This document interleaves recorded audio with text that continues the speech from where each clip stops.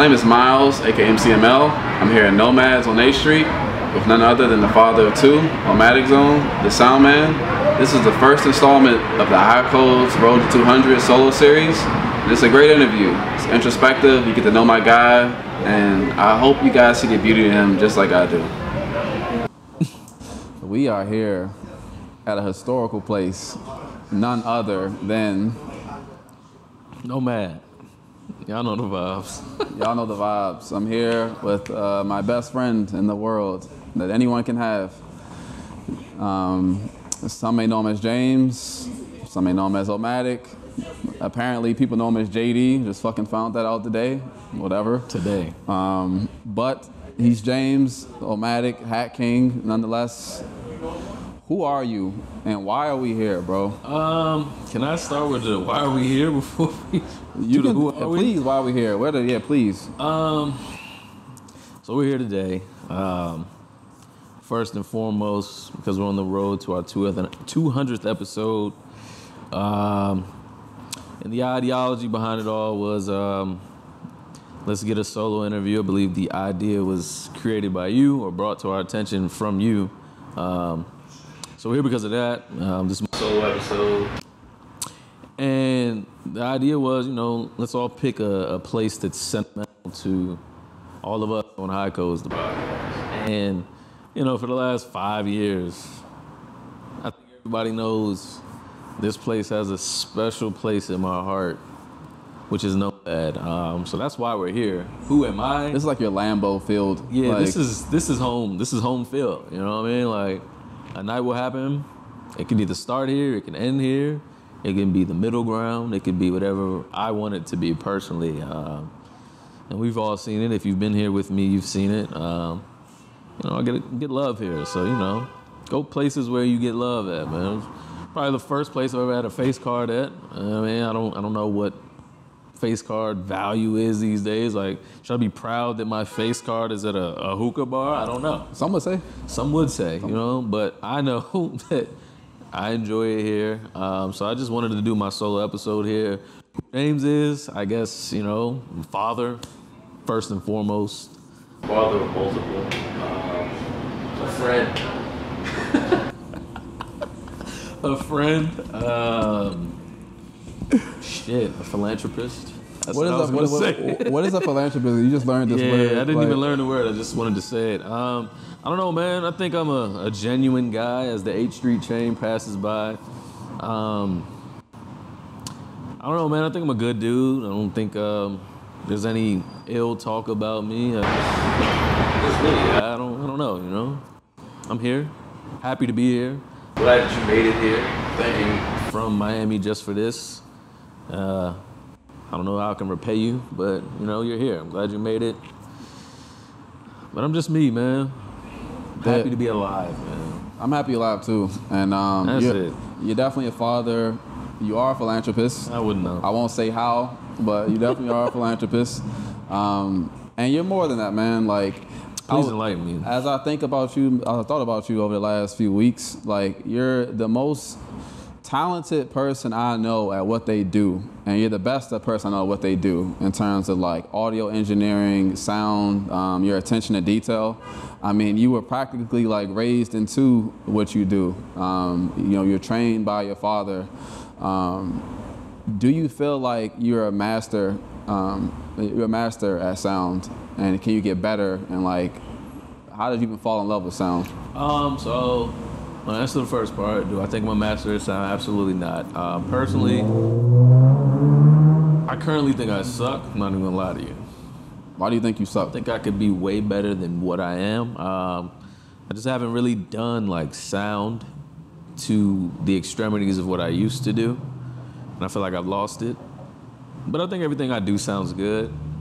Um, but I feel like in this world of engineering, like I think everyone would say in this field that you kind of want to be a perfectionist. I feel like in anybody's field, people want to be a perfectionist of what they do. Um, I think my stuff sounds good, but I think it can sound better. I feel like every sound engineer could probably say that. And I feel like Ruben, the Pharrells of the world, shit like that. Um, so a master, hell no. I don't. I think anybody would tell you. Like, I don't think you would say you're a master in anything you do, because I feel like you always think that you can get better. Every day. So a master, hell no. Um, am I good at it? Yes. I've been doing it forever. Um, why did I fall in love with it? Like you said, my father was doing it. Um, and it it was just like a, a backhanded passion for me. Like you know that for the people that didn't know, I mean, my my father was a sound engineer, but he was a musician first. Um, when I'm in grade school, they came around to the classes and they're like, "Who wants to play an instrument?" I'm like, "Yo, kind of been doing this instrument stuff for a while, so it was kind of like firsthand. You know, you want to play sports and all of that. That wasn't me. It was like I know music. It was in the back of my head. I remember being in a studio, mad young. I remember my second grade talent show. Uh, they were like, "What do you want to do?" And I was like, "I'm gonna sing." Right? Imagine me singing. I've seen you sing the hell of times. Like, But um, imagine me like really singing, like passionately singing. What the fuck were you singing? Uh, I believe. so anyway, right? So the, the No, hold up. nah, because it leads into. Hold up. No, you laughed through it. He said, I believe I can fly. We won't say who by who. I, hey yo, I'll say by who. Oh, God, R. By Kelly. Sylvester. By So- Robert Sylvester Kelly. I will never forget because it was like the talent show shit. And I was like, yo, I'm about to do this talent show. My mother was like, you know, your dad does sound and all that. Told my dad. He was like, yo, we about to get in the studio. Like, niggas real live went to the studio and just was like, yo, you gotta sing this shit. And I'm just like, all right, bro. Like I'm in this joint, like singing my ass off, sitting behind a fucking uh, mixer, a board, and all this shit in the booth. I'm like second grade. I didn't know what the fuck was going on. I'm just like, I'm gonna sing this shit. Anyway, talent shows, tryouts come. Tryouts is jokes. I sing. they don't even fuck with. they don't even fuck me. I don't even make it past that stage. Wow. Right? Don't even make it past. It was just like, yo, what what is all this training for? Who knows? You know what I mean? Maybe my dad was trash too. Who knows? You know? so I'm in this joint singing that shit. That wasn't fucking with me. But it was just like embedded in me, you know. This nigga did sound, man. He was an entertainer. Um, but I don't know. I mean, to like fast extremely forward to what made it be my love was obviously. I mean, you know my story about school and shit, and I just wasn't fucking with where I was, and I was just like, let me go back to something that I know, which is entertainment, live sound type shit. Well, before we go further than that, like we was you was speaking about your father and him instilling those principles in you in terms of like um, approaching like that's like a, a one thing that I wish I learned like uh, early in life is just like being preparedness. Like regardless of you not being able to advance in that competition, the fact that he took you to a studio just showed that like the mentality that you need when you approach like an important event. Like you need to take the time to be ready for that. Like. Um, you know like i want people to understand who your father was but like what are some other lessons that like your father like instilled in you um, that still resonate with you today because though you, you you know you aren't able to spend time with them now like you there's so many lessons that you have that you still have with, right now that like people that do have their dad now don't even have like you know like what, what would you say about that? Um, so the main lesson that uh, always sticks out to me, and it kind of goes back to, um, well, it doesn't go back to it, but it made me think about it again when I, uh, when you texted me actually last week, um, my cousin passed away. Um, and rest in peace to my cousin Andre Bridges. for sure rest Um, in peace andre But the same day, I mean, I was I was going through it a little bit that day, but you said you've been through so much shit. Don't let this shit get you down and do some fucking push-ups. I did the fucking push-ups. But that has nothing to do with it. But when you say you've been through so much shit, that made me think about the main one of the main things my dad taught me when I was young was pain, right? And I joke about pain in a lot of group texts these days. we have a group chat called hall of pain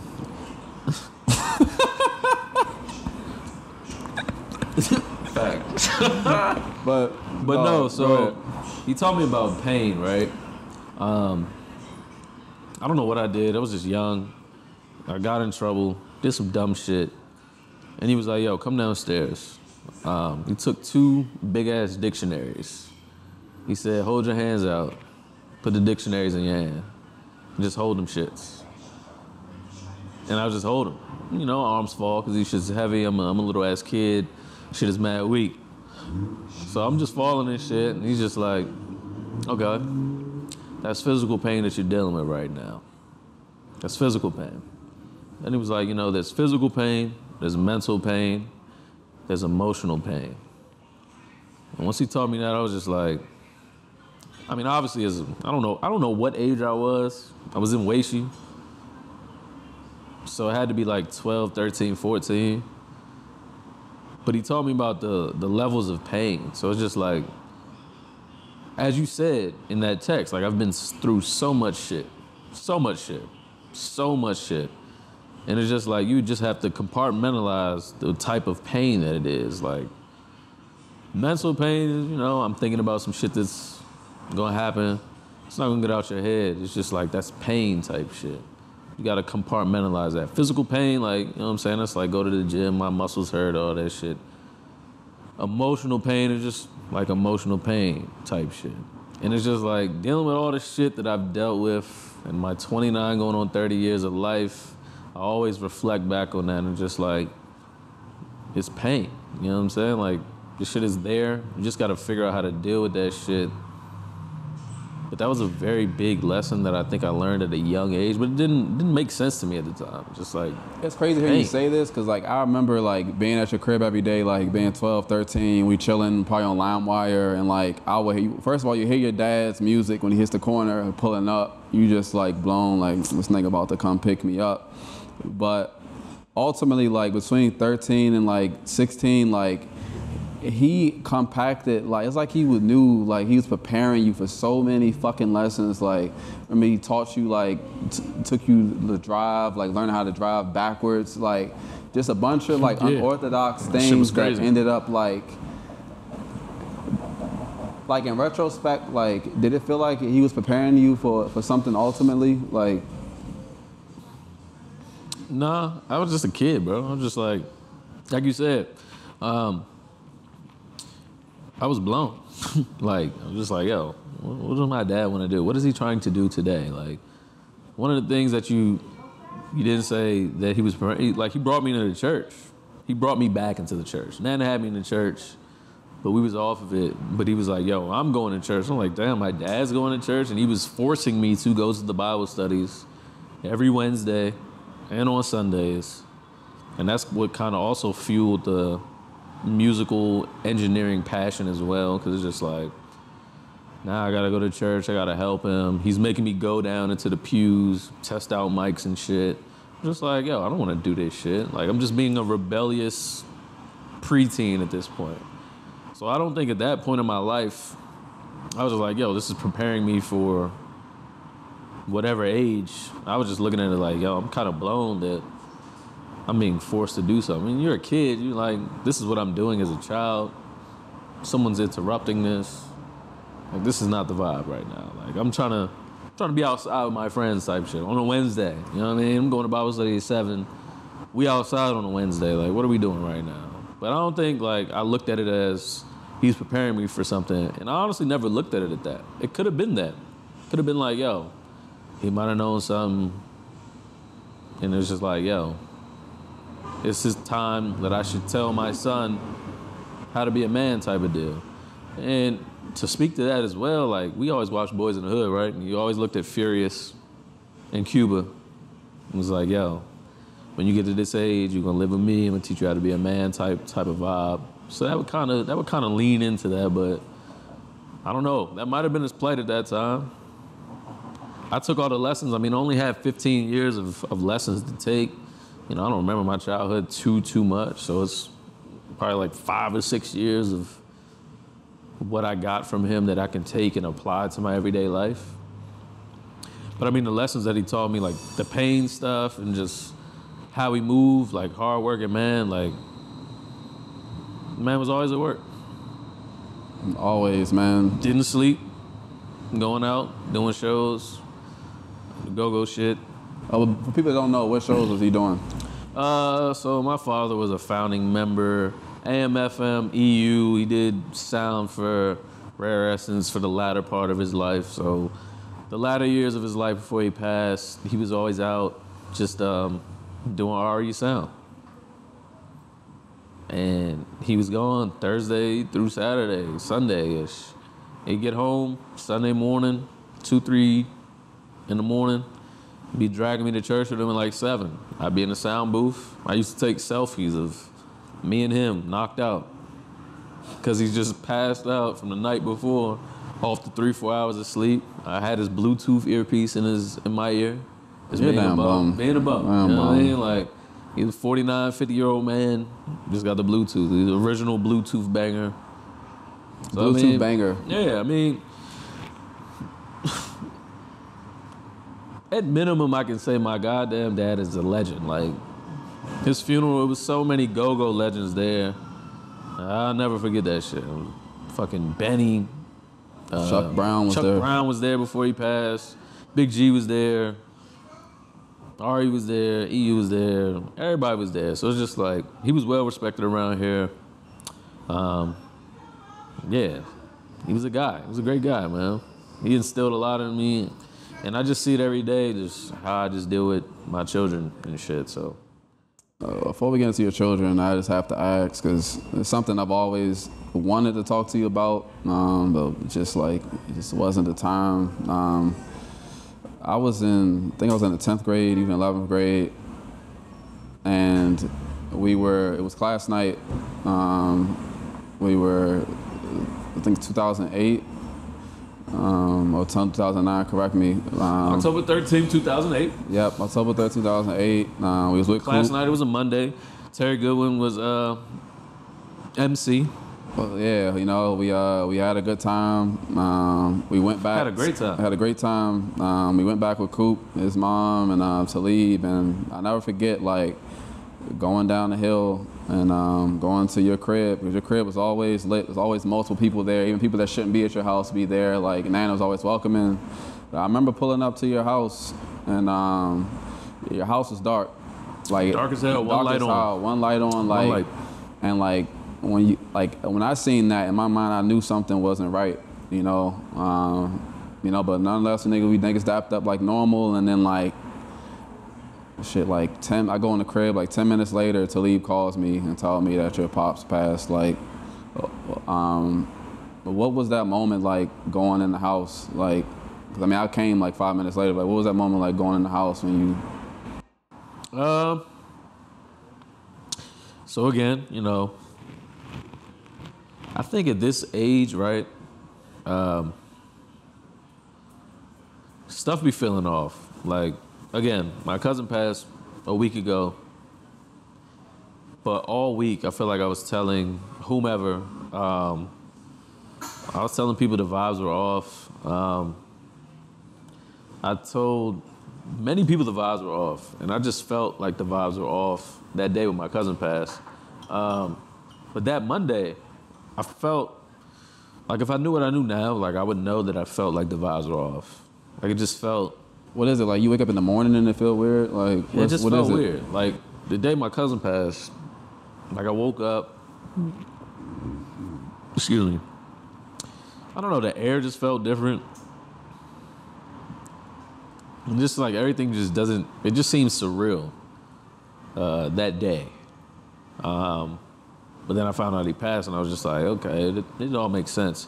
Nonetheless, though, circle back to October 13th, 2008. When I bring back the emotions, just going through that whole day, it just felt like, just felt like a, a overly good day. It was like too perfect. Yeah, like weirdly, it was just like a weirdly good day. You know what I'm saying? Like, I don't give a fuck about a class night. I never gave a fuck about a class night. I didn't go to homecomings. I didn't go to like the first two homecomings. None of that shit. And I was in a band and we were supposed to play, and I didn't even do that shit. So this year I decided to go. I had a good time. I'm like, okay, niggas, niggas going crazy. But again, like you said, we pull up to the jump, and the lights off, but one light. Um, I go in the house. We had a sunroom and shit. All the lights was off in the house, and everybody was like, "Yo, Jay, come to the sunroom." And I'm just like, "Who died?" That's the first thing I said. And this is what I said to my mother last week. I was like, "Who died?" So I go to the sunroom. Who died? Father passed away. And I was just like, wow. Fucking wow. Like, fucking wow. Like, what the fuck? Like, what the fuck? Um, so that shit happened. I'm balling. Um, just didn't know how to handle it. Um, it's 15. I'm 15. 15. You know what I'm saying? I'm processing everything. Me over here, like fake being mad that my dad want to be with me and shit. Um, was thinking about the last conversation I had with him. Like again, it was a Monday. I talked to him on Saturday, but the week prior, I didn't talk to him for a whole week. And I don't want to sit up, here and say that my dad wasn't there for me or in my life or none of that shit, because he was there. I was his only son, and he loved the fuck out of me, and I loved the shit out of him. But like, he was doing him. But I just think back to like, yo, I, I didn't talk to him for a whole week. And I talked to him on Saturday. And then on Monday, he passed away. So it's just like, granted, I ain't talked to you in a week. That means I haven't seen you in over a week. So I haven't seen you in like two, three weeks. So it's just processing the fact that I'll never see you again. I can never talk to you again. I can never hear you say anything again, play this music in the car. I can't smell your cigarette burning in the fucking car when I'm trying to roll the window down when you're trying to kill me by secondhand smoke. I can't go to go-go's with you no more when I don't want to be there. It's like so much shit that is like it should just snatched from up under you. And it's like you never have that again. And yeah, it was just like it was a lot. And I remember like, yeah, I was upstairs in my room, I was bawling, bruh. And this is why I say, um, the waste you guys, y'all my niggas forever, cause y'all niggas pulled the fuck up. Bro, I'm crying my fucking my eyes out. Y'all telling me, you know, it'll be good, bro. That's the shit you gotta say, like, nigga. My whole dad just died, bro. Like, and he died at three. Like three o'clock. I'm just finding out at eight. So it's just like shit. Shit. But from that, I think that just gave me my strength at this point, man. Like, I think everything happens for a reason. You know, I think if he didn't pass, I wouldn't have took this path in my life of doing sound and shit. Cause I was just like, like I said, again, I don't want to skip forward, but I was going to school for business. That wasn't my passion. I didn't grow up trying to be a businessman. I grew up playing instruments. I grew up in a studio in second grade trying to sing a fucking song that niggas failed me for. Yeah, I feel like when you were went to FAMU and you was talking about the business school, it was more so just like the right thing to do rather than like something that you actually wanted to do. You know, like My father told me stay in fucking Maryland. Don't go nowhere. So the reason, one of the reasons why I was like, fuck it, I'm about to go. Like, okay, my my my dad passed. So I was just like, my dad passed. Now I got the freedom to do whatever the fuck I want. You know what I'm saying? This nigga was like, go to UMD, go to Georgetown, stay here. My whole time I was like, man, I'm trying to. your dad did a stint at Howard, right? Yeah, he- like a brief stint at Howard. He didn't graduate, but he was just there. I mean, My dad did one too, and, and it was crazy. I was repping that this nigga did, so like ah, I immediately like, you at the mall? Yeah, you know this nigga. Nah. Meanwhile, he was there for a month, but like I ain't, I A ain't know. month is I ain't know. Yeah, Yo, month is shout out to Morgan. State. You know, you guys accepted people that shouldn't have been there, but you know, shout out the ones that made it. Anyways, um, yo, this nigga Fuji. Yeah, word. But nah, anyways, man, like no, that that day was um that that, that the day I, that's the day I never forget. Um and like I always like wondered like were you able do you feel like you were able to fully address you know the trauma of that situation Uh, or absolutely you had not. to keep going because like you were out of school i think for like two maybe three days and then you just went back to school and it was just Father like died oh, on a he's back. Monday, bro. I was probably in school on like came back like wednesday, Wednesday thursday or Thursday at the latest. And I was just in school like nothing happened. And they took me out of class to do the the guidance counseling shit.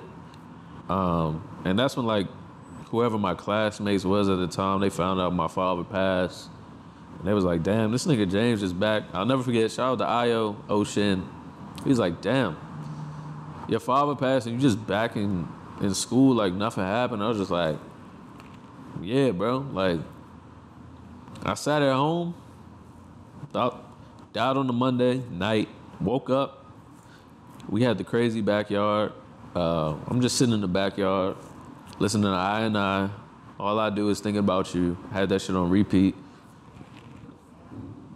But I was just staring into the backyard. I'm just like, yo, staring back here, listen to this shit. That's not gonna bring him back. Nothing can bring him back at this point.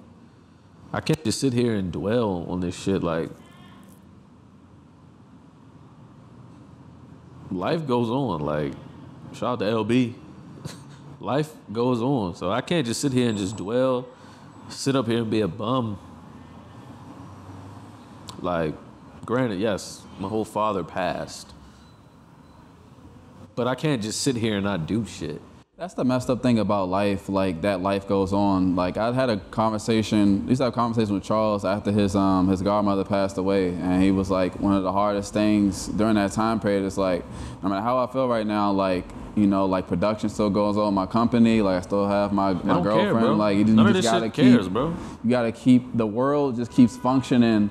Like you like people, these cars driving by, like they don't even know that like you just lost somebody. Like it just it, it doesn't stop. I hate And, to um, keep talking about my cousin, but my cousin died on a Monday, the first like 70 degree day in like a very long time. It's just like he died at like 10. Niggas, I'm on the timeline. Niggas outside. sun is shining. Like they don't care. Like shit happens. Shit goes on. So it's like, yo, am I gonna sit in my backyard for like a week and a half and just mourn? No. So like you had to car- compartmentalize it and move on, like not move on, but like go on with your life. Like how have you been? Have has there been a moment that you've been able to address it? Do you still feel like you're carrying that those same emotions like with you, like? Because you, you've accomplished so much like, since the passing of your father. Like you've been able to graduate, you've had children, you've, you've launched multiple businesses, even your own business. Like, what's um, because there's other things that's happened too. You know, like what's what's been the thing that just kept you so driven and motivated and inspired to want more for yourself? Because you easily could just could have just gave up after that and crashed out. Um,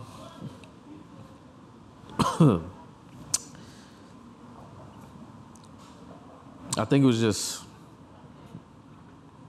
seeing the type of, excuse me, the working man.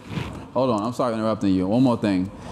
Did you address these emotions in Orlando? Was Orlando the time that you actually addressed all this shit when you was living there? What do you What do you mean by it? Because Orlando, like you was by yourself, you was isolated, like, um, and you spent a lot of time isolated. Like literally, it was just you there. Sometimes the homies was there. Like, was that a time period that you actually sat down and really thought about all the shit that happened, like prior? Uh, once I reached rock bottom down there, yeah. But if we want to get into that, we can do that. Too. We don't have to talk about rock bottom. No, we like, can get there. All right. But prior to that, I mean, um, just the the fact of to keep going is just the fact that, like I said, man, like he was a workaholic.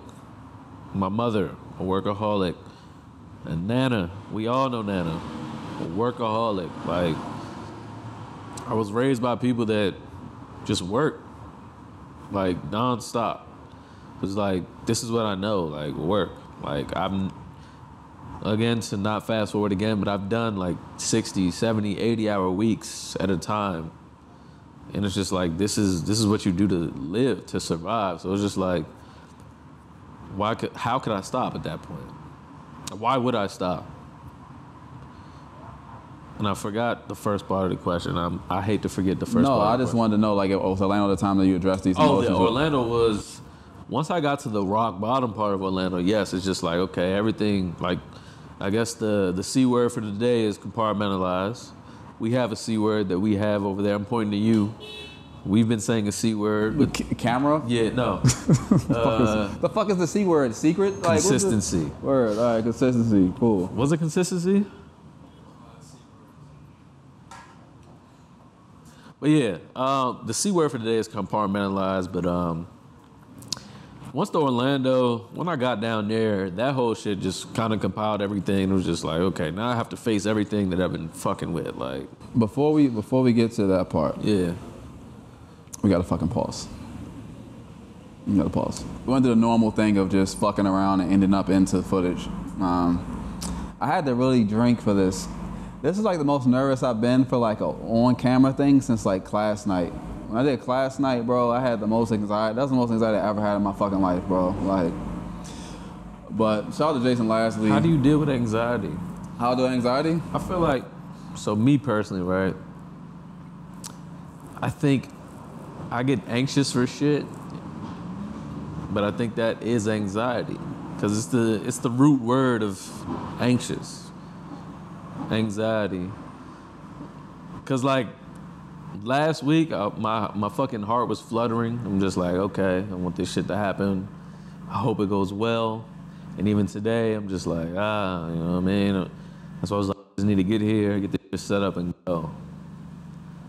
But like, I think that should be fucking me up. I don't know if I want to self-diagnose myself with like anxiety.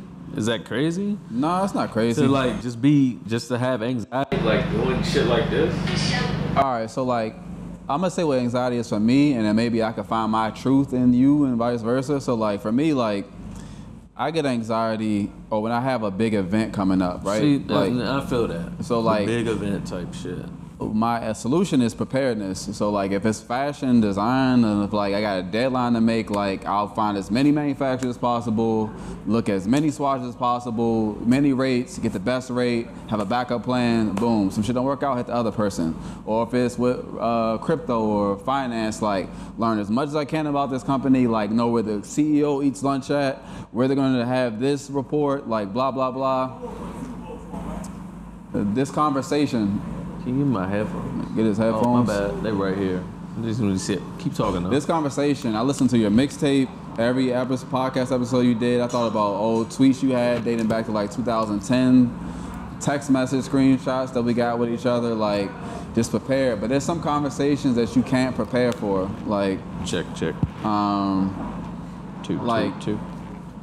has a all right for one this is one thing that drives my anxiety through a fucking roof because i can't do no research for this how do you feel when you get a text message that says we need to talk In my in my present space. or any just- space you could- any year decade Um, at that point, I'm thinking I did something wrong. I'm in trouble. what did I do? Thinking about what I did last night. last night What did I do last night? Um, did you go through my phone? Like, what? What's going on? You know what I mean? So, I think that's the way we need to talk comes from. But like, as Charles said, we all liars, so I can lie my way out of that. Hopefully, hopefully. so the fact that you're gonna go in thinking you make lie out of it like you just not you just no anxiety like it's like i'm good like I mean, like,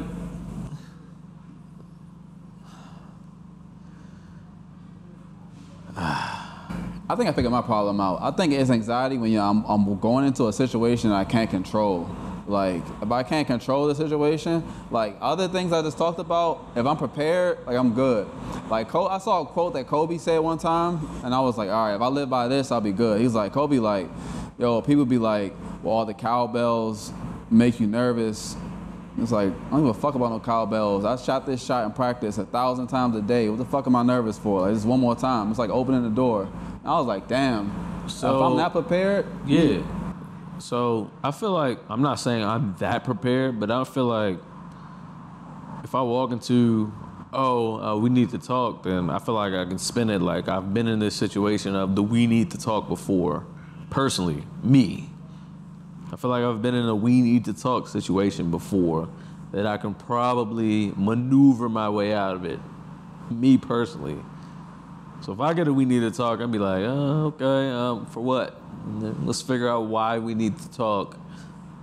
And then, you know, it could be a big letdown. It could be like, oh, yeah, um, these drapes, as Chris Rock once said. Let's talk about these drapes. Then you're like, all right, now you're up on 10 and the drapes come, and now you're like, all right, but yeah, them drapes look all right. It wasn't that bad. Yeah, I mean, so it's just like, I don't even, if a we need to talk comes, it's just like, what the fuck do we need to talk about? Especially if you ain't doing no wrong. If I didn't do no wrong, what are we talking about? You're kind of seasoned though. Like you, I'm very seasoned. You're very seasoned. Like you dealt, you dealt with so I've, much. I've been through so much. You've been dealt with so much nonsense and like uh, uh, bad news being delivered to you that it's like the shit that most. Not proud of it. I mean, it is what it is though. It's life. Like we always is life, bro. Like the shit that you've dealt with throughout your life, like it's it's happened so many times and it become frequently and it maybe come down a lot at the same time that like the little things that normal people complain about. Do you feel that way? Like you have friends that complain to you about their problems and you hear them like, yo, oh my god, this happened, and you be like, bro, like, do you know what I'm dealing with? Cause like as your as your bro, like there hasn't been often I can say that you really just complained. Like you don't really. Yes, you be annoying. Like my problem with dealing with you is just like, damn, this nigga James fucking lit. We gotta fucking get this nigga up. Like like you just got too drunk. Like that. Then not, I'd be mad about that. But like I can't say that like I'll be around you and like you're just a bad vibe. Like I can never say in any era like through all these things we're talking about that you've ever been a bad vibe. And I truly appreciate you for that. Even though I give you a lot because like. I get mad about you maybe being too lit sometimes just because like I want the best for you and like you're really fucking talented, man. Like you're really good at what you do. And like I, I tweeted this before, like I think you're like our Quincy Jones. Like our Quincy Jones was able to affect the Fresh Prince and Off the Wall and Star Wars and be a part of so many productions. I think you have that ability and the skill set to apply yourself to different situations and improve all of us, whether it be KD, whether it be Britt, whether it be through me with MCML and challenging me, whether it be through Hazie Thoughts. Um, all of us, like you have that skill set to go into any situation, see the problems, and solve it.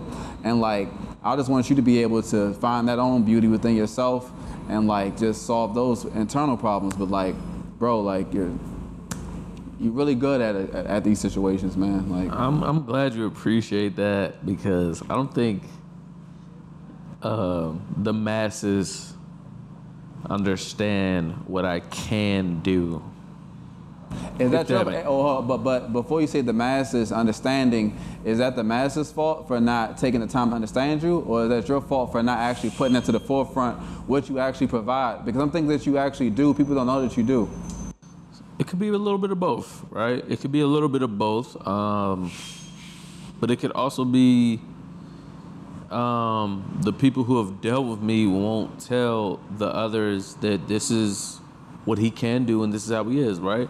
So, again, uh, back to sound engineering, right? There's the greatest sound engineers in the world. They're super assholes, super assholes. The greatest video producers, the greatest um, designers of the world, the greatest actors of the world.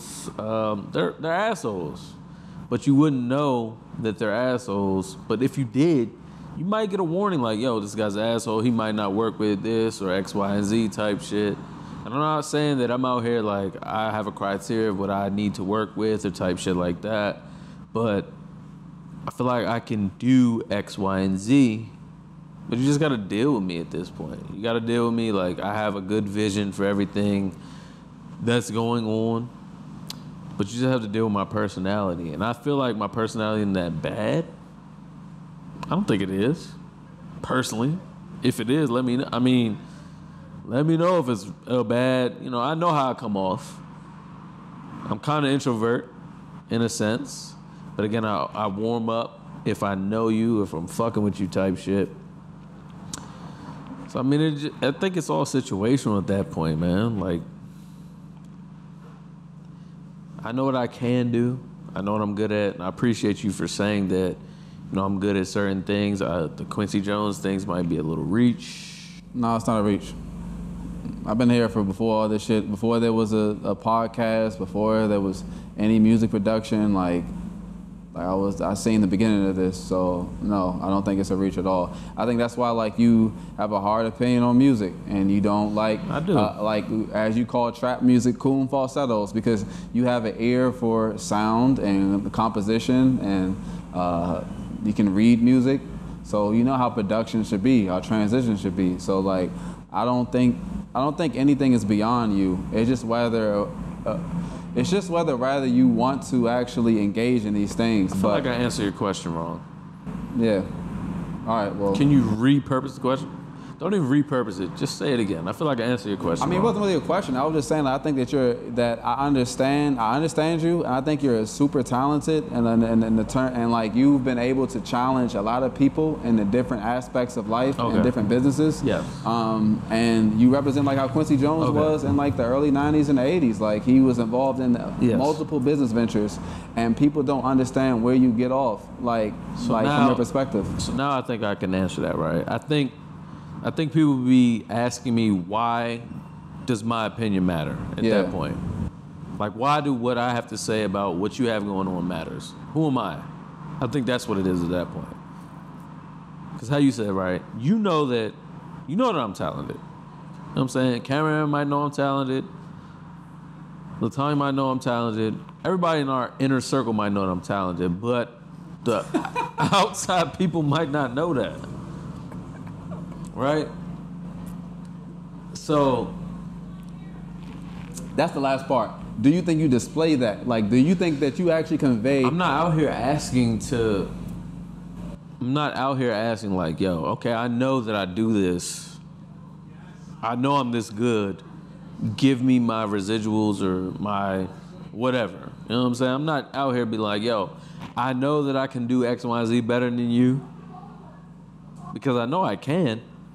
But I'm not gonna be out here on Front Street like, yo, I know I can do this better than X, Y, and Z. Like I seen you play fucking the like I remember we used to listen to music and like you would get on the bass guitar and strum the guitar off of sounds. Like not reading the music, but it's off of the sound. That's not normal.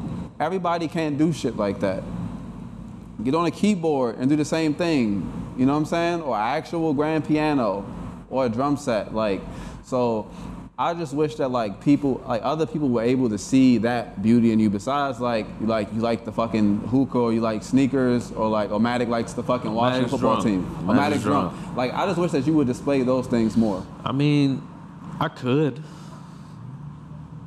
but I'm just being discretionary these days. Why? I don't know. I just want to keep everything to myself these days. Well, you say these days, right? But like as you always also always say that life is short. Very. How would you want people to remember you then? If you don't, if these days, if you aren't displaying these things of uh, the epitome of who you are, like That's a good question. It's a great question. Um, and I think about this question often because, as to Charles, is what Charles always says. He doesn't want to make a podcast morbid, but um, he loves that word. He, He loves that word, does. Charles. Definitely let the word morbid.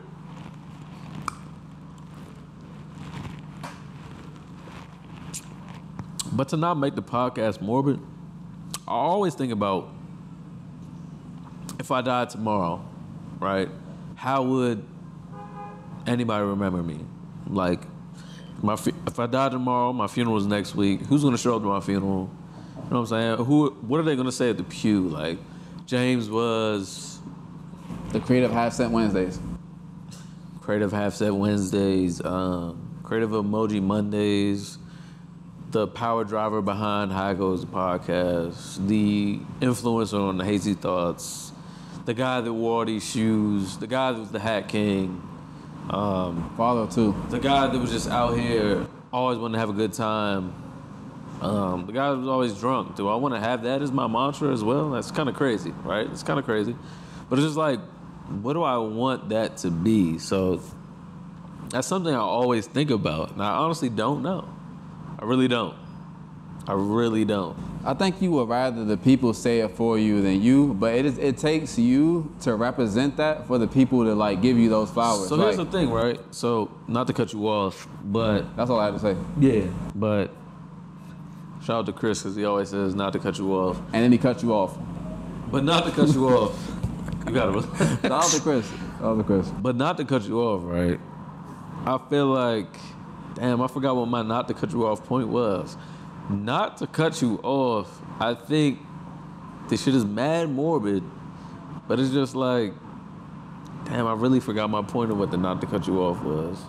That's all right. Well, regardless, Yeah. regardless, bro. Like I want you to, to display these things. Like how I think of you as Quincy Jones. I want people to see that in in you. Like I have a tweet that like, man, it's like in like it was in like 20. I was in I think I was in college, and I came back and visited you one time, like 2013 to 2012. I don't fucking remember, but In I was Orlando? like, it was your it was your birthday. You came to my crib like out Elkridge, like.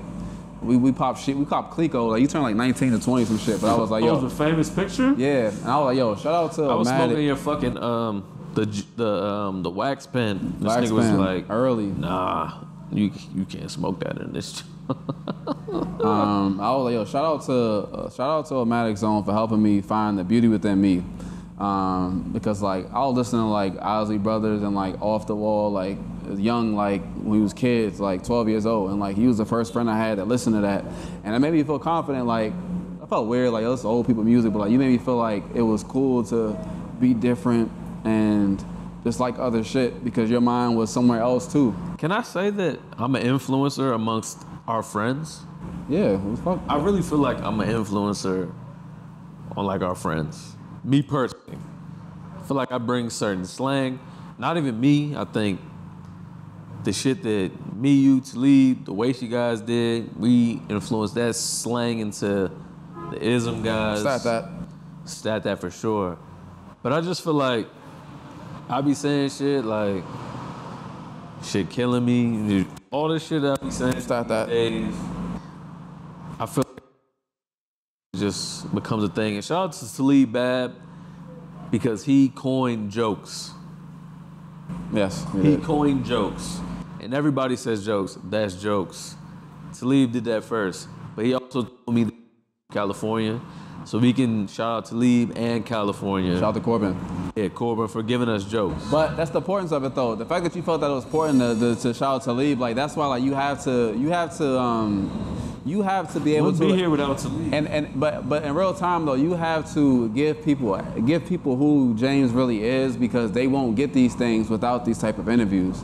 Like we talked about how like the lessons that your father instilled in you, whether it be driving, whether it be auto engineering, whether it be the preparedness. What do you, as a now you're a father too? You have a daughter, you have a son, um, and I'm lucky to be a godfather of. Like, what lessons do you want to install in them? You know, the things that you didn't get to learn, and things that you feel are important to them now. Um, Uh, very tricky question. Um, and it's only tricky because I have a son and a daughter.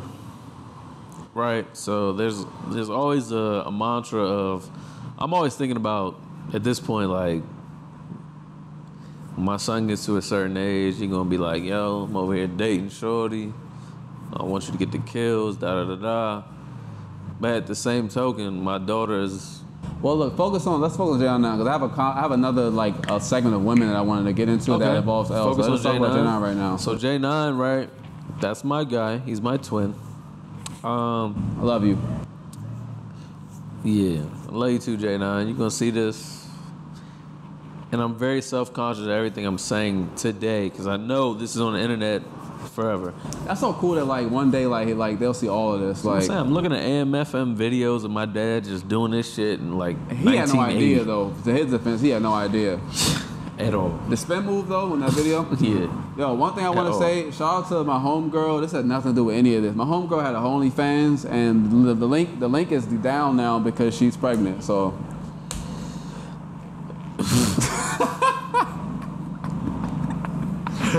But nah, though. So right, um, go ahead. The J9. The J nine He'll shit. see that too. I mean, it's life, bro. Only The J nine conversation and just kids, in, my kids in general was a very convoluted question because it's just like I'm just living this this fatherhood shit as I go. Like he's two, going on three. Um, and I kind of want to just teach him everything I know, right? So like, people tell me all the time this. Sh- you would tell me I'm wilding. The shit that I think, the shit that I say, I might be wilding. I think cameraman would say the same shit. Let me ask you something, because everybody in this room has had a I think moment. everybody would tell me that I'm wild. let, me, let me ask you this though. Everybody in this room has probably had a moment in their life when they told you that you were wilding. Yeah.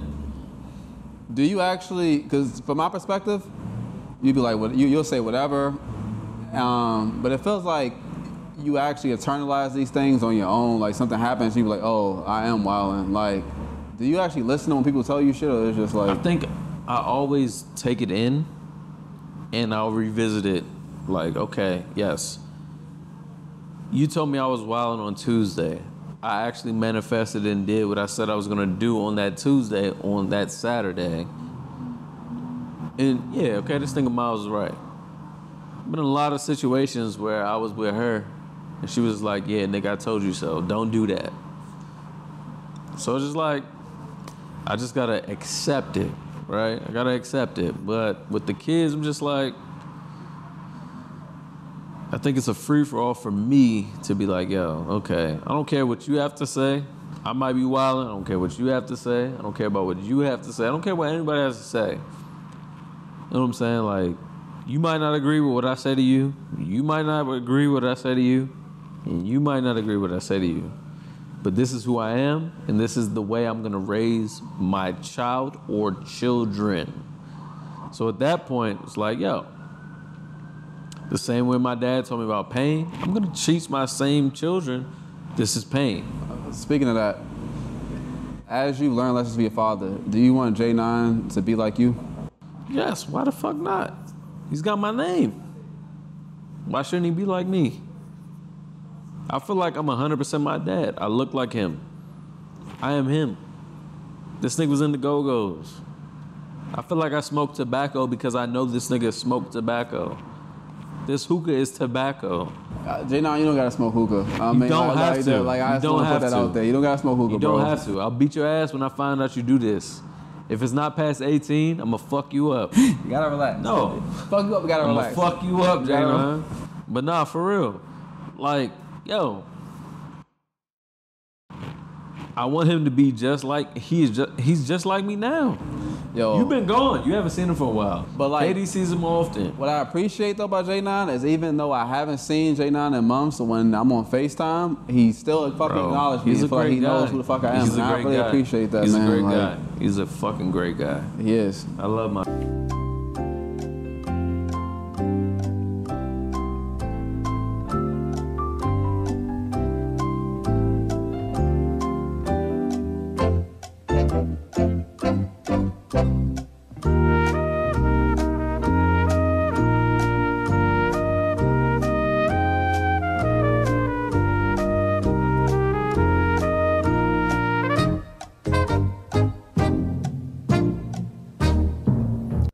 I said that to say we're back here with Omatic, my brother James, JD, apparently.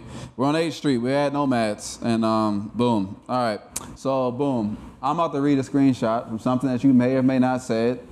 I want you to answer um, where your mind was during this time period, truthfully, or you can omit, or where you, where you was during this time period, and do you still feel this way? I feel like you know what I'm about to read, but um, cool. This is your words. And one person responded to you. I can say that person's name, but it's not gonna mess nothing up. You said, I'm pro situation shit. Charles says, that's interesting. you said, I'm pro, let me be a whore while you, parentheses, whomever you, my yous are, fully committed to me. I am selfish. I am controlling. I am possessive. I do not commit. Nah, that's the Fire sign, fire sign, fire sign, fire sign. Do you still feel these sentiments? And during the time period, why? What made you get this off that day? Because to my recollection, you didn't have to get that off, but you got it off. Like, and like during certain life events, I go back to that screenshot. I'm like, yo. so talk to me, man. Why I gotta talk to you? Because we never talked about it. Like, so what was the first bar? Pro your situationship? pro situationship. I feel like I am. Why? There's nothing wrong with that too. Like that's something I think I think more people should discuss because there's so many issues with uh, monogamy and like people's commitments to situations. And if more people were honest, because what I come to realize is that like, because I never really had nobody talk to me about like like how to handle relationships with women or like how to love someone or like how do you engage in love on someone and some people you may deal with you may not actually love them like you may just like the situation like for you like you saying that you're a pro situation like what does that actually mean to you I think pro situationship just means that I'm very happy to have some fun with you at the time. At the time. That's all it is. Like, we're having fun. We clicked up at this time. Oh, I met you this night. You know what I'm saying? Let's oh, we clicked up. Let's let's do something tomorrow. If we're not doing something tomorrow, okay, we might do something next week. We we just vibing next week, you know what I'm saying? We don't have to put a title on anything. We're just vibing at that point. And then we might just vibe for like the next two to three months. It's a vibe at that point. And at that point it's a situationship. Like I feel like things happen fast in relationships and I don't like that shit. It's just like, all right, I've been trapping it out with you for like two, three months. Does that mean we're in a relationship? I don't think it should mean that. It's like we've been having fun for a while. Should I have to cut everybody off for you after two months? I don't know. But when I sent that text, it was me in a younger age. So it was nothing that they had to deal with at this point. At this point, it's like, yo, I got kids at this point, so now it's just like, okay, we going out doing something. You realize that I have children, plural, at home. So we can't have this fun too often, but we can have it when I have time to have it. Type shit. what about the part of you being selfish controlling and possessive because Uh, that, that doesn't really change because you you have kids like that's just an emotion that you have like Uh, yeah, I mean, that, I- that, that, that- does that stem from you being the only child or like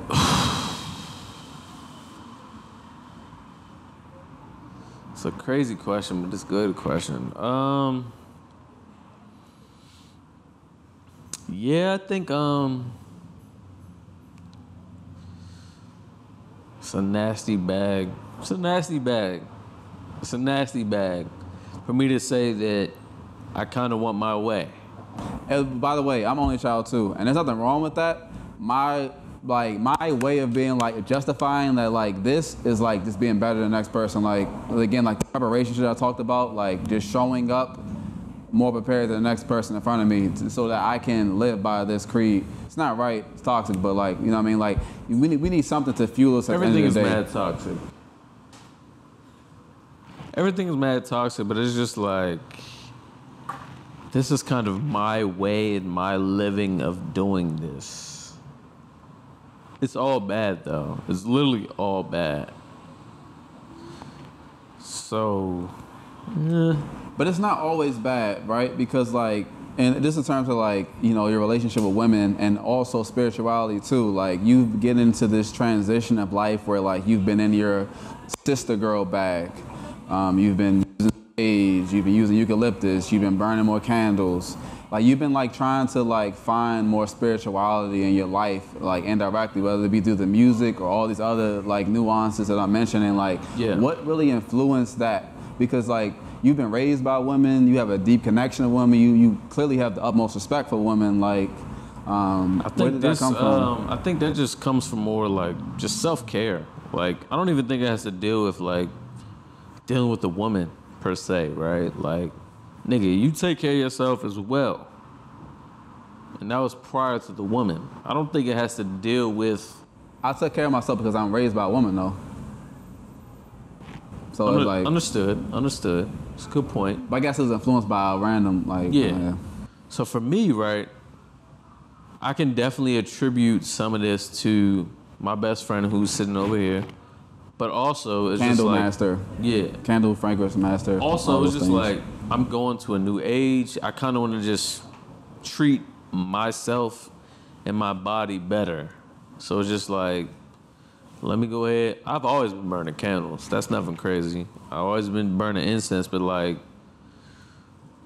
oils for my The, the, body. the, the, the candle bag definitely. Let, let's like let's be clear. The candle bag got better like over the years. Like I'm you saying, but it, it Yeah, wasn't but, like. but I, you always been listening to great music. Yeah. You ain't always been burning like Yeah, eucalyptus, like lavender. com- so mm. again, like I didn't have eucalyptus in my house. You know what I'm saying? on, I didn't let's, have. let's, I let's, let's didn't some have. respect. I didn't. That's He got this, he got eucalyptus in the shower. Like he got the plants I got coming it everywhere. I got it in everybody's room. He give me the link. I get the link, Yeah. and they sold out. Like, but it's all it's all good. I got it now. Shout out to Trader Joe's. So I like all that shit. You know what I'm saying? You gotta get your body right, gotta get your mind right. And I think it's all just a transformation, man. Like you just can't be the nigga just in your crib, like I'm just waking up, taking a shower, going to work. Like, no, nigga, you need to wake up, lather yourself and whatever you need to lather yourself in body utter body butters, body oils. Got body butters. Yeah. I remember when this nigga wasn't wearing lotion. Like I don't. he, I, like this nigga that's my thing. was I not don't even. wearing I lotion. still don't bro. do the lotion. I used to be like, yo, does like people wear lotion? Like That's this what I'm is my saying. bag. He was like, "I'm wearing lotion." I was like, "Bro, I don't need lotion. I'm light skin. I don't need to do that shit." that's fucking crazy. And I still don't do that shit, bro. So I just put on the oils and I pour in the butter. Oh yeah. Do a plug right now. What, what, who who butters you Um, putting on? Like let's let's. let's Um, I mean the the the oils and the shit I use is from uh, Bath and Body Works. They're um eucalyptus um all that shit. But shout out to Black Wax Bar. I got their um body butters too. Shout out to Kayla, man. Shout out to. Kayla. Um, yeah, I got your body butter. Shit smells amazing. It just doesn't intertwine with what I got I use a turmeric and vitamin C face scrub. Um, I do egg mask you too. see his face. It looks good. Thank you. You never told me that, man. I appreciate that. So, anyways, um, speaking of these things, like I'm glad that you've got into self care and you've become a model man. So, like, you have a daughter. Um, you're still learning, like, the father, her part is raising the daughter. But do you have an idea of like, just from your experience of women, like when she gets to that age, like what type of man you want to like pursue your daughter? Like, does those things come to your mind at all? Yeah, I just I just don't know. I really don't. I feel like my karma's gonna hit me. You speak about your karma so much. Like, why do you think that? Like, you don't think there's no forgiveness comes with this life? I was trash. I was very trash. Very trash. I feel like I'm a good guy, but I've done some trash things. So, I feel like my daughter might sadly.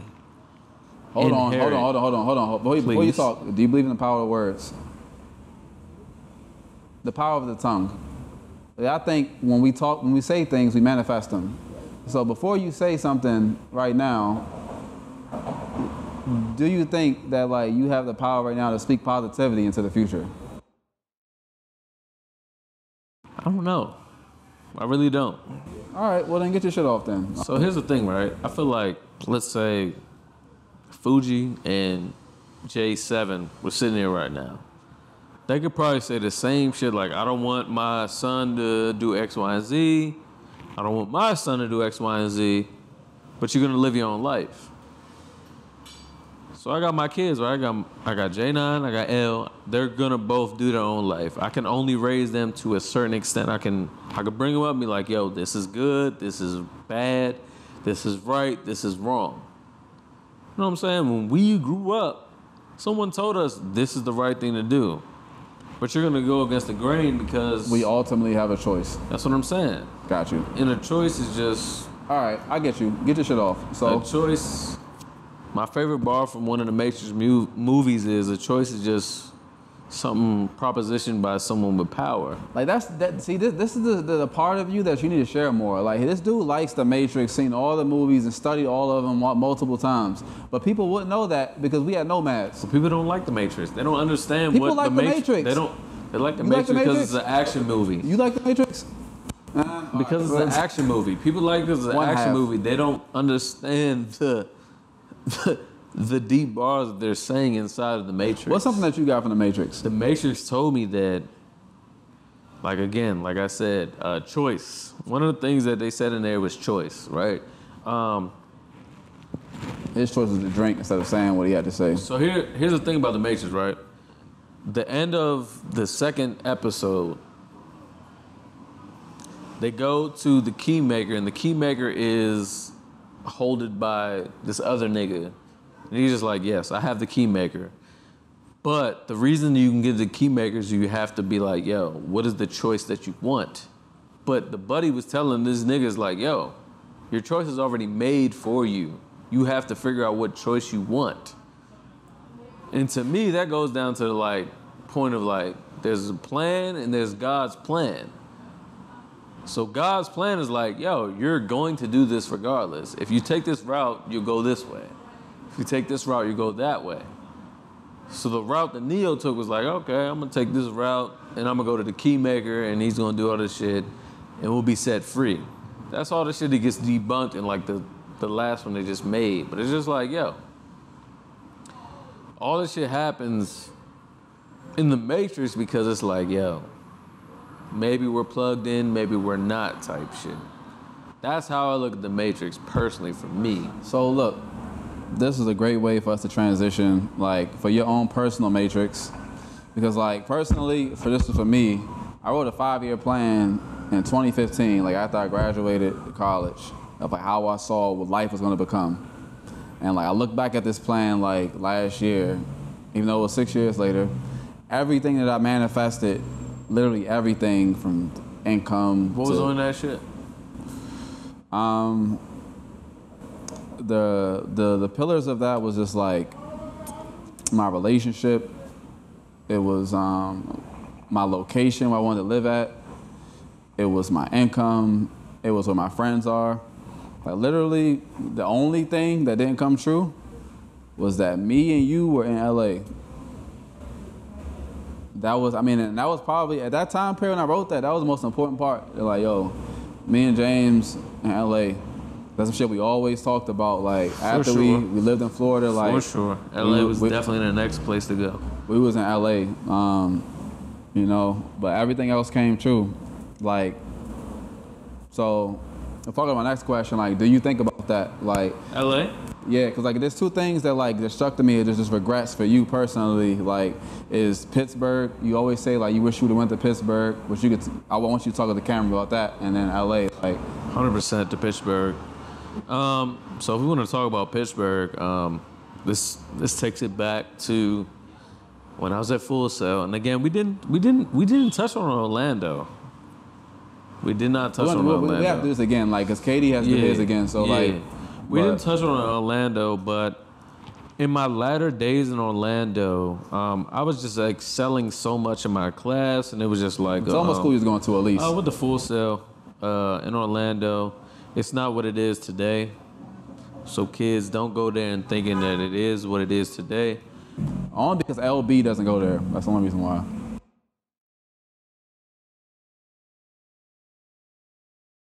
It's a crazy shot.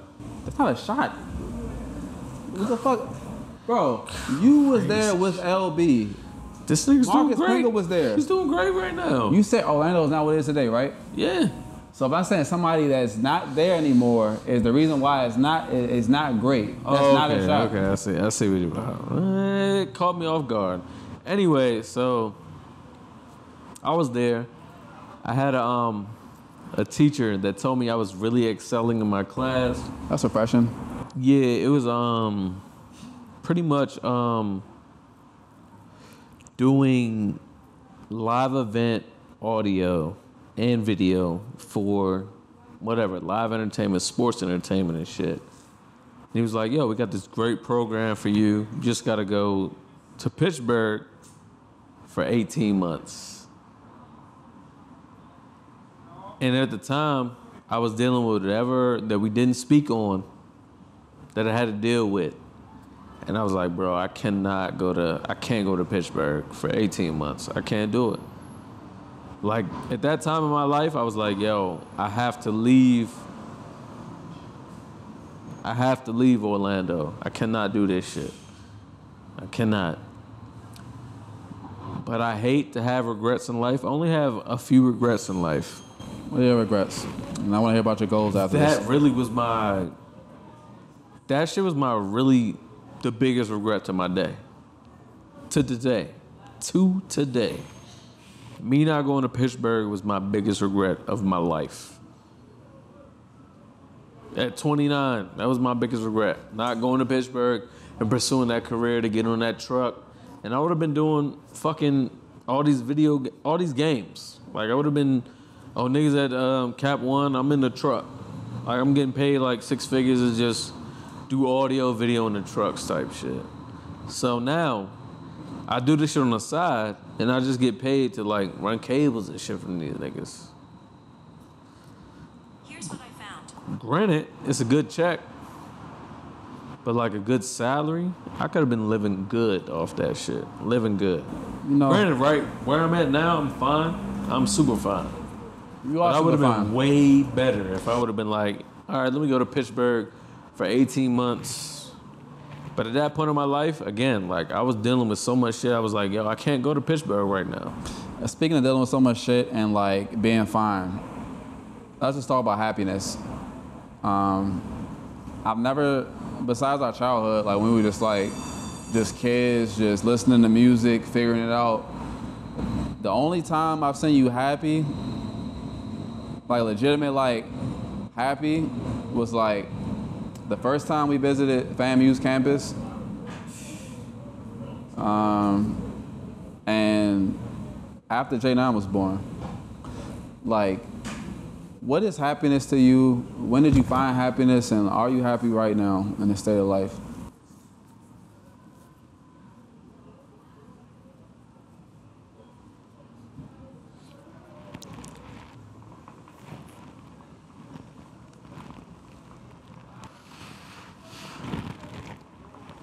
You hitting the shit out of this hookah. Like, um, just want to let y'all know. If y'all don't hear this, I hear it. And he hitting the fuck out this. But What is happiness to me right Yeah. now? Um, shit. so hold on. Let me, let me just say this. Somebody just texted me. Probably don't have the bread. I don't know why I had to point that out. But go ahead, bro. I don't know how I point that out. But go ahead, man. Like, what's happiness? Happiness to me in these days, honestly, is just being around people that I fuck with and that I love personally. So, granted, right? I got my two kids. I love being around J9. We really haven't gotten to L, but I love being around L. I love that shit. Right? Besides that, nigga, I'm super happy that you're here right now. I'm super happy. My guy, I haven't seen you in a long time, bro. We miss phone conversations. You call me when I'm at work. I can't pick up because I'm at work. I call you back. You don't pick up. You know what I'm saying? Like, we can do that. We can do that. I'm sorry, bro. I'm not gonna lie. You the only person that I call. I don't give a fuck what you doing. Like, yo, I gotta call Jay now. Nigga, you call me at 12. I'm like, bro, like, I'm yeah. in the I'm in the weeds of like work. But I call you back, like, nigga. And I hate to bring it up again. My cousin died, bro, and I called you like right after that. I was like, bro, I was happy to talk to you. I'm happy to talk to KD. I got Sprint, nigga. I'm sorry, nigga. It, it sometimes don't even be me, bro. Like I, like it don't be me, bro. Like I just don't shit. Like I'm sorry, nigga. Like I'm sorry, nigga. Like for real, bro. bro, I'm talk to you. Me and KD been talking a lot lately because being lately, I'm That happy to talk to. KD. Uh, shout out to KD. KD's been really been pivotal through the whole process because it's been random times we've been like places and like we get isolated through all the madness and these two end up talking and like these conversations that they have are really fucking like Me and him see eye to eye, bro. yeah they see eye to eye bro like it, it's like certain people you just get alignment with like and it's not it doesn't even take years it just takes it just had that that some, sometimes chemistry just happens to the person So, Um, like- I just want to acknowledge that I just want to say that I'm happy to talk to you. I'm happy to talk to him. Me and my sister go out a lot. Happy to talk to her all the time. She keeps me home because I be wilding the fuck out. She be like, oh, yeah, no. But it's just like, yo, like, I just like, I think I'm happiest when I can talk to somebody. That someone can understand what I gotta talk to about. do you feel I like be there was- going through a lot of shit. do you feel like there was times when people couldn't understand Yeah, I feel like I can talk to you. So here's the thing, right? And I'm glad you brought that up. I feel like it's times where I can don't want to talk to you because I don't think you'll understand what I have to say. I can talk to KD because I don't think he'll understand what I have to say to you. I feel like I can talk to both of y'all and she won't understand what I need to talk to you. I feel like I can convey a message to all of y'all that only one of y'all can understand what I want to say. Let me ask you a question. Is it that we don't understand or our response is not what you want to hear at the moment? I think that's I think that makes it a, a, a point, right? So I might want to hear what you have to say about what I have going on. I might want to hear what he has to say about what I got going on, and I might want to hear what she has to say about what's going on. But I also feel like I can talk to both of all three of y'all, and y'all can tell me what I want to hear. So I'm glad that all of y'all are here right now, so we can talk about this shit. Well, look, man, as your friend, I want to say I apologize for not being able, for not, listen, for not being able to be the, the ear that you needed at the time. You know, because I can be heavily opinionated, and it's only because I want the best for you. And some I'm not shit. even so to not cut you off. No. I don't think it's a heavy opinionated thing. I feel like you got shit going on in your life. It's sometimes that you don't have nothing to give to me because you're going through whatever you're going through in your life. Bro, whenever I know you're going through some shit that you don't have nothing to give with me. And same for her.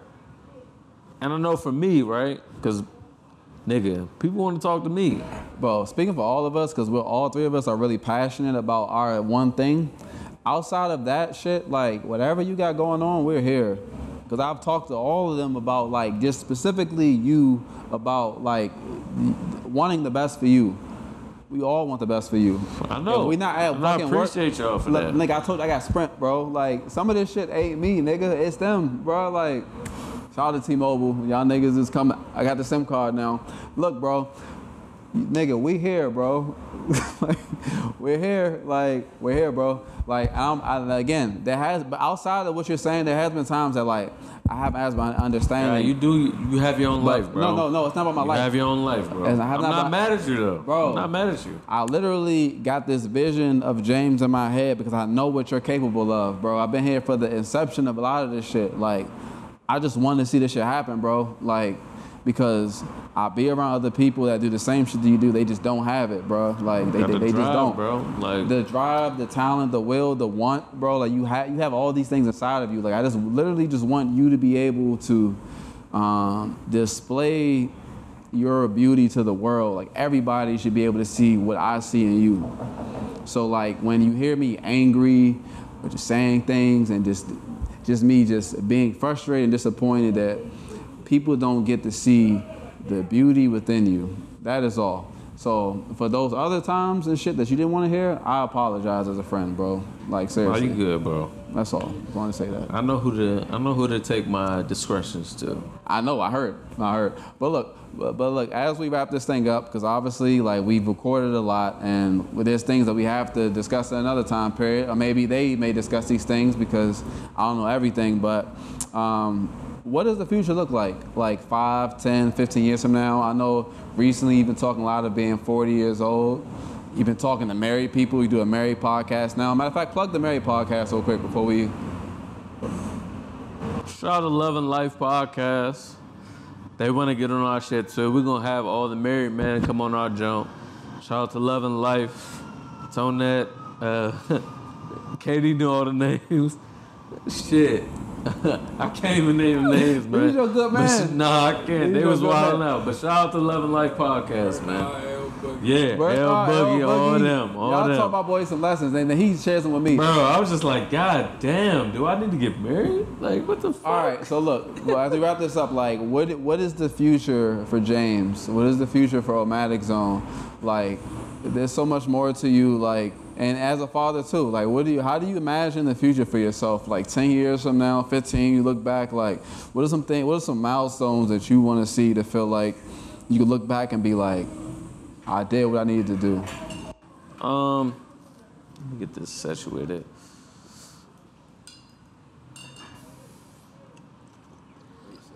Mm-hmm. So as far as the um, as me or You, just you. collective. No, no, this is you right now. Um, the collective afterwards. personally, I just want this entity to get paid. Personally, I want this shit to get paid for monthly salary. I don't care what anybody else had to say. We can't be talking for free. We can't be doing this shit for free. No, we can't be doing this shit for free. Um, Koi. Fuck it. we can't be doing this shit for free. Um, but for for all of us, man, we we going on a 200 episode. Um, tickets are out now. Go ahead, buy an Eventbrite. It's in the description of this podcast. Um, come out to the 200 episode, and yeah, just come vibe with us. But um, after that, like, we can't be doing this for free, man. If you want to sponsor us, do whatever. Shout out to For Life. They right here. They didn't sponsor the episode, but they here. Um, yeah, man. Well crafted tequila. So, um, personal goals like as a father, fatherhood. Personal goals as a father. Um, so I want J9 to embody me as a man. And I kind of want L to do the same thing. But I don't want her to be out here like wilding. But I want J9 to be out here wilding as well. So I don't know. You know what I mean? They my kids. Do you How- think, all right, but because all right, you said wilding, but I like, people, most people will look at wilding and just take it as face value, but like, I think that like, wilding, there's lessons to learn with wilding and just like going through life like kind of radical and just finding your way within, like the beauty within the madness. Like, the, um, like, is that what you mean by wilding? Like just trying to like figure it out, do it your own way? Yeah, so I feel like it can be a little bit of that and a little bit of I told you that this was gonna happen. So it's just like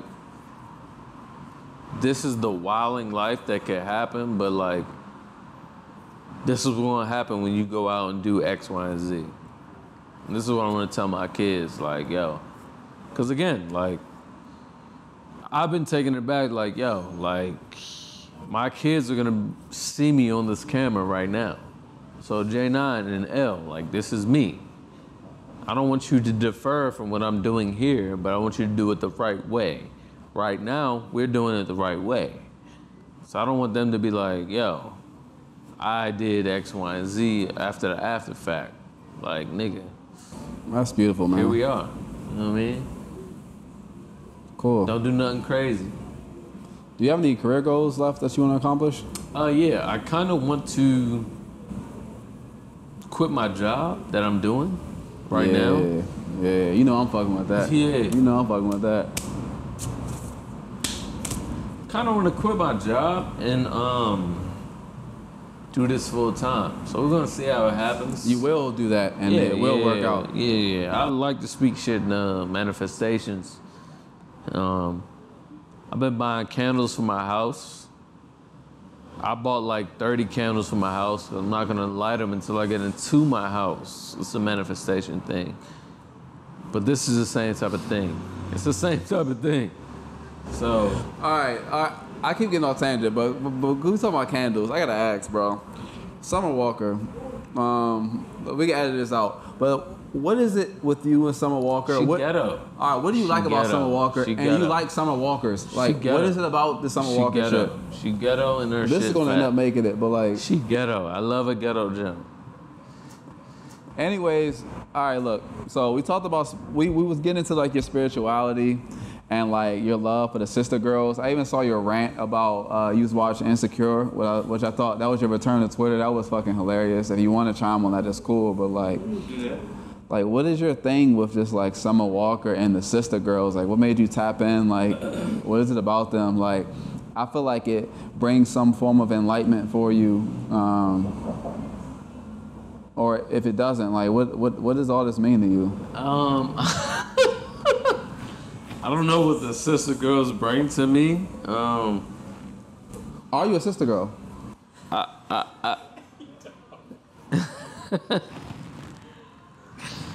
think at this point I probably am. Like, I burn sage. I light candles. I'm not summoning spirits. I think that's like supreme sister girl at that point. You got sage in your house. Yeah, got I got crystals? sage in my house. You I got incense in my You house. got crystals? I got crystals in my house, but I'm not like rubbing crystal to be like, oh, this is what it is. Well, you might tap the crystal, like, Yeah, I might do it. I might do it, but that don't I mean. tap one fall out the house. Mm. Yeah, man. But yeah, that's not the that's not the vibe that I'm giving off. You know what I mean? What about Summer specifically? What, what, what is it about Summer Walker? because I said it because like growing up, growing up with you, like we've encountered Summer Walkers, and like I don't think you've shown that Did same at Flowers. There's some Summer Walkers that went to Flowers. Come on, bro. I don't want to say names, nigga. Like help me, help me, nigga. My thing about Summer, right, is like she's the perfect mix of like ghetto, but not ghetto, but ghetto at the same time. Where's the not? Yeah, that's the that's the question, right? So it's like, where's the not ghetto? And I might chalk that up into her being a mother. A mother. I might chalk that up to her being a mom at this point. But I love Summer Walker, bro. I don't care what she does. She has no wrong in my in my vocabulary. I love Summer. I don't care what she do. So not even the alkaline diet for an infant was. I mean, like people got to do what they want for their own baby, bro. Like if that's what you want to do for. Scientifically proven that that's not. I have no idea what the science does to that in their What baby. about the haircut with the dreadlocks? The braid shaved head thing. I mean, that was what she wanted to do. Fourth baby mama London on the track. I'm the fourth baby mama. You're not giving me nothing. Ooh. Let's move on. We covered a lot of things throughout the day. I guess it's a selfish question like, uh, how do you view me as a friend? How do I view you as a friend? Um.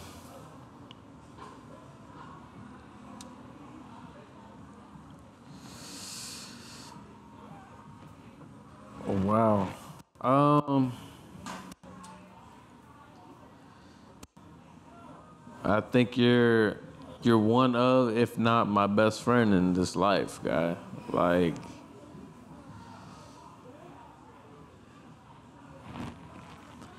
I've been said that you are the godfather to my son.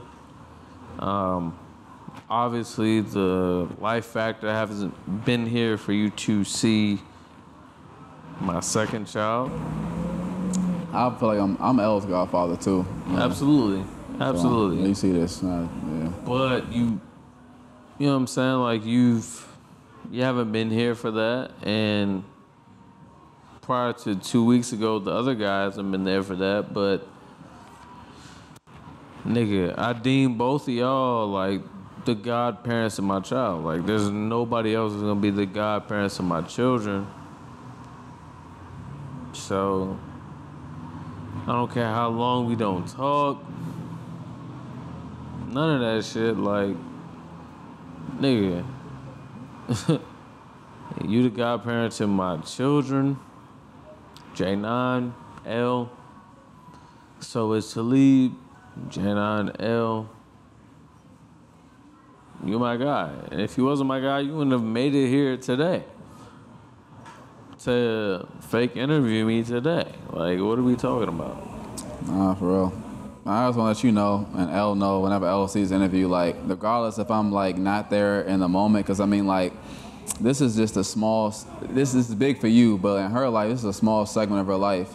The impact that I'm gonna have on J9's life and L's life is gonna be like incredible. Like I know the the meaning of having a godfather, having an extra support figure, having that male leadership in their life, like I'm gonna play a pivotal fucking role. Like I just have to.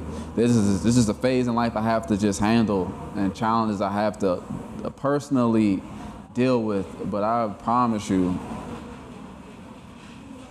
I'm gonna have a meaningful impact on both of their lives for a lifetime, and they'll always have me. I'll always be there, no matter what fucking happens to you. I'll all. They'll always know that I'll be there for them. Like and that's why like getting on FaceTime and like you talking to me and even Jay not hearing my voice, he gets the phone. Like shit like that like means everything.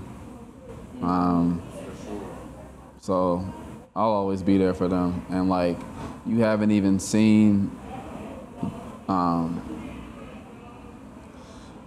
how much they mean to me, but we have nothing but time, bro.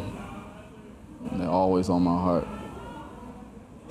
And I love them. I love you. I love Nana. I love your mother. Like, thank you. Thank you for being there for me. Times I needed you. To anything I Uh, dealt we in with. this together, guys. Thank you, bro. Um, and on that note, um, we can wrap this up. Um, hope you guys have learned beyond behind the boards. We could call this episode. Um, there's so much complexities to this man. Um, there's things that we haven't touched that we'll touch another time. Maybe KD will touch on it um, the next time. Um, but I just wanted you guys to I wanted you guys to be able to experience the beauty in James that I've been able to experience as I've known him um, throughout our friendship, our brotherhood, and I, just just parts and pieces of him that I want the world to see that they haven't seen yet. And I hope that watch this interview, you've been able to get that. Um, any closing remarks you would like to say?